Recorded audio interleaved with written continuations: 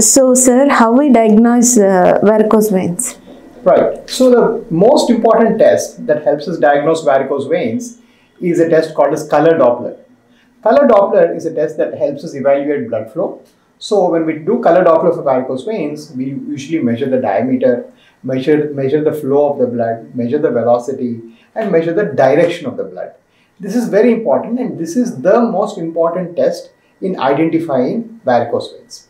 However, one point we should keep in mind before we do this test is that this test should be done only in standing position. You cannot lie down and do this test. When you do this test in lying down position, almost all the time the report will be wrong because the diameters will collapse and because the blood is going up.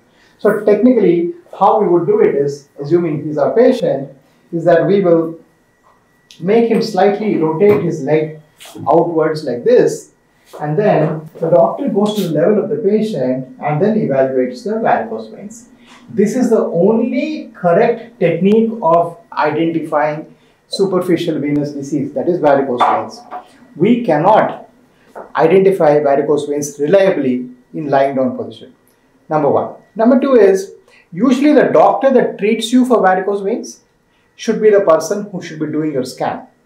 Which is why in our AVIS institutions, in all our institutions, all 18 of our institutions, we do our own scan for all our patients and all the time that is done free of cost. And this is very important to remember this.